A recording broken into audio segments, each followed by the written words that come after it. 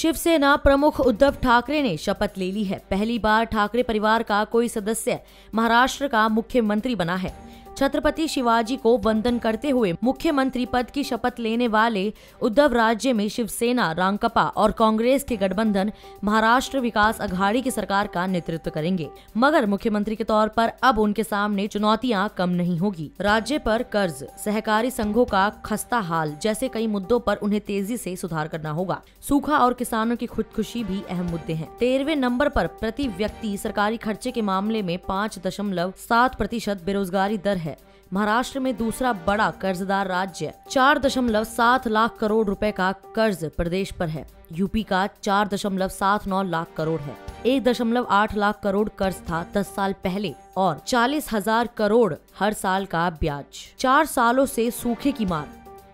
बेमौसम बारिश से इस साल पचानवे दशमलव चार तीन लाख हेक्टेयर फ़सल बर्बाद और सूखा। दस हज़ार करोड़ रुपए की दरकार। छत्तीस में से तीस ज़िले आपदा से प्रभावित। खुदकुशी नहीं रुक रही। पंद्रह हज़ार तीन सौ छप्पन किसानों ने आत्महत्या की पिछले छह सालों में। 1200 से अधिक किसानों ने खुदकुशी की 2019 में अक्टूबर तक। सहकारी संघों का बुरा हाल।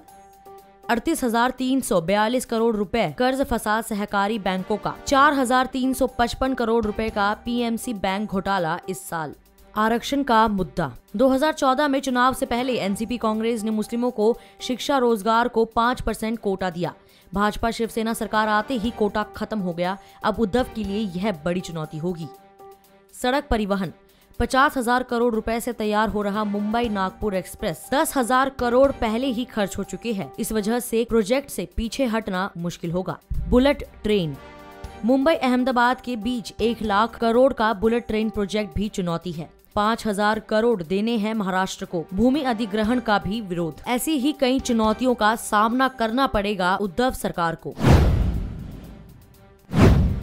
नागपुर पुलिस ने यहाँ की एक स्थानीय अदालत द्वारा महाराष्ट्र के पूर्व मुख्यमंत्री देवेंद्र फडणवीस के नाम जारी समन की बृहस्पतिवार 28 नवंबर को तामील की। फडणवीस द्वारा चुनावी हल्फनामे में अपने खिलाफ दो आपराधिक मुकदमों के बारे में सूचनाएँ छिपाने के आरोप से जुड़ा मामला है। इसी मामले में समन की तामील हुई है। सदर थाने के एक अधिकारी ने बताया कि यहाँ फडणवीस के घर पर समन की तामील की गई। यह घटनाक्रम ऐसे वक्त हुआ जब महाराष्ट्र में उद्धव ठाकरे के नेतृत्व में शिवसेना रांकपा कांग्रेस गठबंधन ने सरकार बनाई है। फडणवीस नागपुर से विधायक है। मैजिस्ट्रेटरी अदालत ने एक नवंबर को एक याचिका पर फिर से सुनवाई शुरू की थी, जिसमें भाजपा नेता के खिलाफ कथित तौर पर सूचनाएँ छिपाने के लिए आपराधिक कार्रवाई की मांग की गई थी। शहर के वकील सतीश उके ने अदालत में एक याचिका दायर कर फडणवीस के खिलाफ आपराधिक कार्रवाई शुरू करने की मांग की थी। बम्बई उच्च न्यायालय ने उके की याचिका खारिज करके निचली अदालत के फैसले को बरकरार रखा था।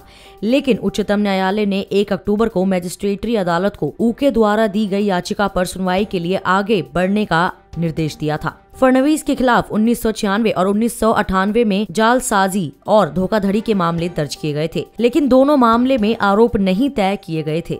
उके ने आरोप लगाया था कि फडणवीस ने अपनी चुनावी हल्फनामे में इस सूचना का खुलासा नहीं किया।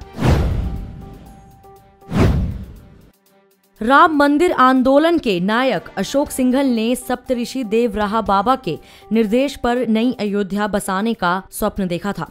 उन्होंने सरयू नदी की तलहटी में समाये हज़ारों एकड़ भूमि पर नवीन अयोध्या की कल्पना को मूर्त रूप देने के लिए पूरा मास्टर प्लान भी तैयार कराया था। इस मास्टर प्लान को उन्होंने वर्ष उन्नीस से उन्नीस सौ निन्यानवे में तत्कालीन कल्याण सरकार को सौंपा था। लेकिन राजनीतिक उठापटक के कारण प्रस्ताव फाइलों में ही धूल फाकता रह गया। इस योजना पर अब मुख्यमंत्री योगी आदित्यनाथ ने आगे कदम बढ़ाया है।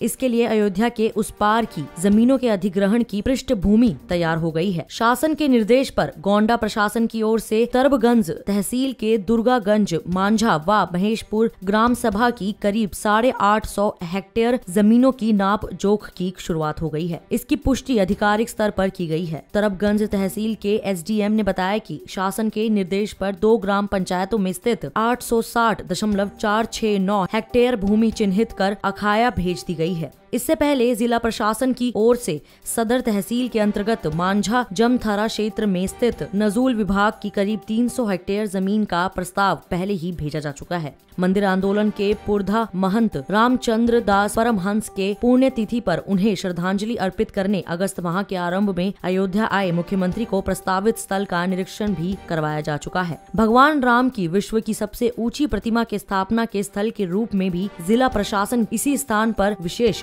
ज़ोर दे रहा है। वह भी तब जबकि मुख्यमंत्री योगी ने स्वयं मीरापुर दुआबा क्षेत्र की भूमि को भगवान राम की मूर्ति स्थापना के लिए चयनित किया था और प्रस्ताव भी मंगवाया गया था। फिर भी जिला अधिकारी अनुज कुमार झा ने मीरापुर दुआबा क्षेत्र में अधिग्रहित ज़मीन के मृदा प्रशिक्षण कराने का प्रस्ताव भेज दिया। उनके प्रस्ताव प्रशासन की ओर से तकनीकी कमेटी का गठन किया गया। इस कमेटी की ओर से प्रस्तावित स्थल का भौतिक सत्यापन किया जा चुका है। अमेरिकी राष्ट्रपति डोनाल्ड ट्रंप ने बुधवार 27 नवंबर को हांगकांग में लोकतंत्र और मानवाधिकार के समर्थन वाले एक विधेयक पर हस्ताक्षर कर दिए। इस विधेयक के तहत हांगकांग में लोकतंत्र समर्थकों के मानव अधिकारों का हनन करने वाले अधिकारियों पर पाबंदियाँ लगाने का प्रस्ताव है। अमेरिकी संसद के दोनों सदनों, प्रतिनिधि सभा और सीनेट से यह विधेयक पारित हो चुका है। प्रतिनिधि सभा में इस विधेयक के समर्थन में 470 वोट पड़े और विरोध में सिर्फ़ एक। वहीं सीनेट में यह विधेयक सर्वसम्मति से पारित हुआ। हांगकांग मानवाधिकार एवं लोकतंत्र अधिनियम 2019 संयुक्त राज्य हांगकांग नीति अधिनियम उन्नीस सौ बानवे का संशोधन है। ट्रंप ने एक बयान में कहा कि मैं चीन के राष्ट्रपति शी जिनपिंग और हांगकांग की जनता का सम्मान करता हूँ और मैं इस विधेयक पर हस्ताक्षर कर रहा हूँ। जबकि इस सप्ताह की शुरुआत में ट्रंप ने संकेत दिए थे कि वह इस विधेयक पर हस्ताक्षर नहीं करेंगे। अमेरिका के राष्ट्रपति डोनाल्ड ट्रंप ने हांगकांग में लोकतंत्र की मांग के लिए चल रहे प्रदर्शनों का समर्थन करने संबंधी एक विधेयक पर हस्ताक्षर